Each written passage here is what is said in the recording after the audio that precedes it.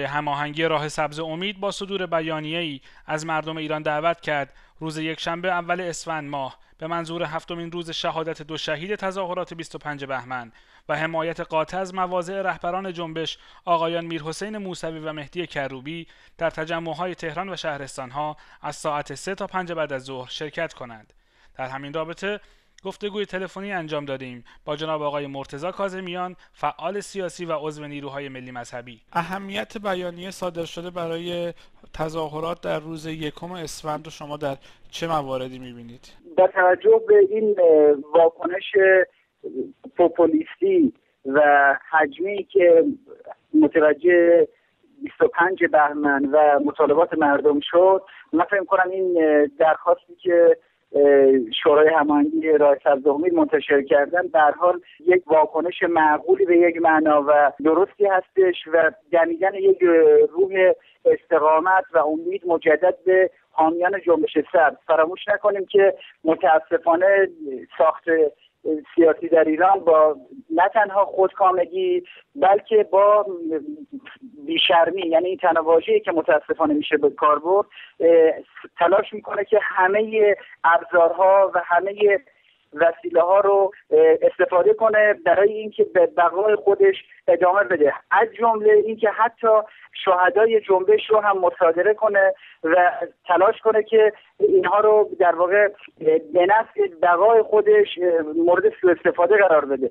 این رفتارهای نظام خودکامه و این برخورد در واقع نه تنها غیر معقول و نه تنها غیر انسانی که برخوردهایی که با هیچ شاخصه اخلاقی و استاندارد عرفی همخوانی نداره اینا به نظر من یک ناراحتی و یک خشمی رو در بران حامیان جنبش سرد ایجاد کرد در کشور که به هر حال این بزرگداشت شهدای جنبش سرد و هفتم اینها که اعلام شد در روز شنبه یکم اسفند مردم در حال مجددا در میادین اعتراض خودشون رو و ناراحتی خودشون رو و سوگواری خودشون رو ابراز کنن. این به نظر من یک مجالی هستش و یک پاسخ مناسبی هستش به اون اقدامات غیر اخلاقی حکومت و این رفتارهای بیشرمانه ای که متاسفانه از طرف تمامیت خواهان در پیش گرفته شده. آیا به نظر شما مجموع آنچه که در این فراخان و بیانیه آمده با واقعیت های امروز ایران همخوانی داره؟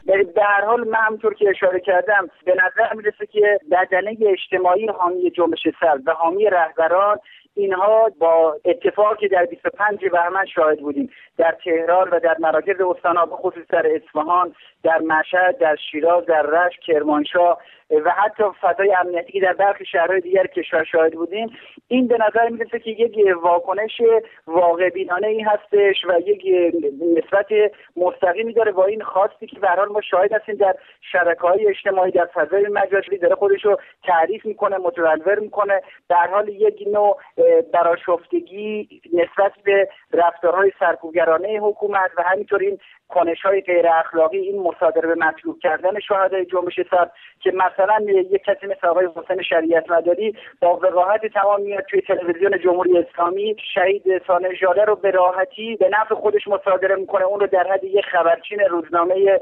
فاشیستی کیهان تقلیلش میده و اینها به نظر من این واکنش نسبت داره با این ناراحتی و براشفتگی بدنه اجتماعی حامی جنبش سر از اتفاقاتی که در روزهای اخیر شاهد بودیم ضمن اینکه به هر حال باید بپذیریم. مردم همچنان تمایل دارن. مردم که عرض می‌کنم به طور مشخص سرزها رو و مخالفان نظام سیاسی مستقر رو دارم عرض می‌کنم مردم به هر حال انتظار دارن که این اعتراضات و این استقامت ورزی ها و این پیگیری های حقوق خودشون رو همچنان ادامه بدن و در مجموع یک برآوردی دارن از توان خودشون و عزم و انرژی خودشون که این رو در رهبران نمادین خودشون هم دیدن.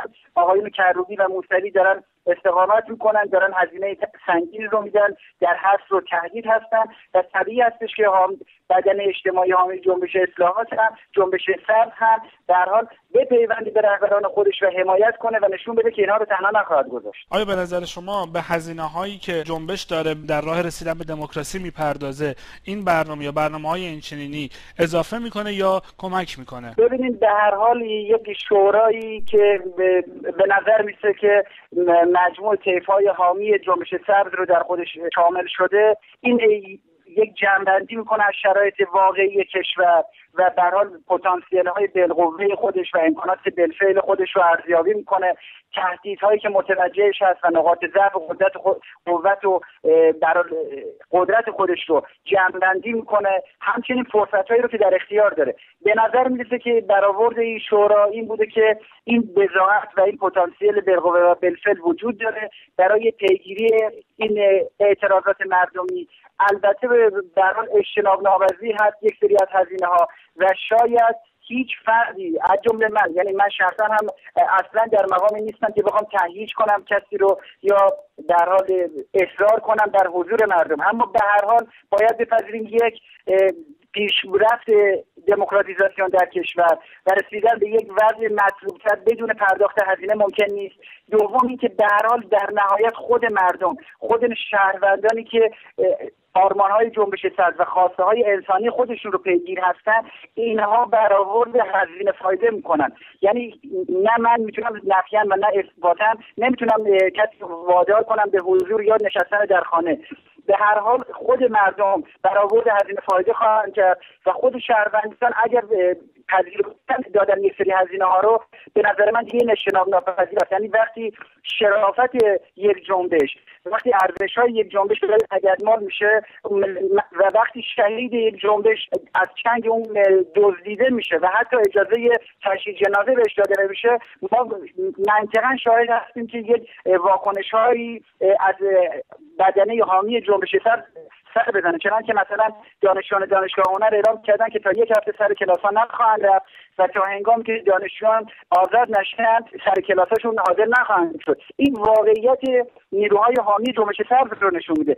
ولی از سوی دیگر هم برای گریز ناپذیر است یک ساخت قدرت تمامیت خواه که سرکوب ارعاب خشونت رو کاملا در دستور کار خودش قرار داده با نهایت وقاحت با نهایت بیرحمی حملات رو متوجه سبزها خواهد کرد و این اونجایی هستش که من فقط می‌تونم درخواست کنم به عنوان یک همراه جنبش سرد از تمامی سبزها اینکه با نهایت اقلانیت با نهایت خیشتنداری با کنش مسالمت جویانه با پرهیز از خشونت و با در پیش گرفتن حد اکثر خلاقیت و نوآوری در شیوه های ابراز وجود خودشون و پیگیری اعتراضات خودشون به هر حال آرمان های جنبش سبز رو همچنان با صبر و استقامت پیگیر باشن.